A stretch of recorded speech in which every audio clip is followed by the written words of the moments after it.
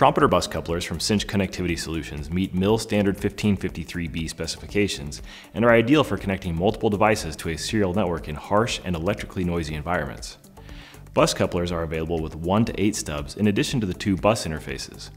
All ports use Trompeter's rugged 3-lug BJ770 connectors for a reliable connection. Each stub provides the proper transformer interface and isolation resistors, and all ports are non-terminated. Trompeter's bus couplers are housed in a die-cast aluminum alloy enclosure with an aluminum base plate that has pre-drilled mounting holes, and they're rated for operation from negative 55 to positive 125 degrees Celsius. The couplers are complemented by Trompeter's mating connectors, test cables, terminators, RFI caps, and adapters.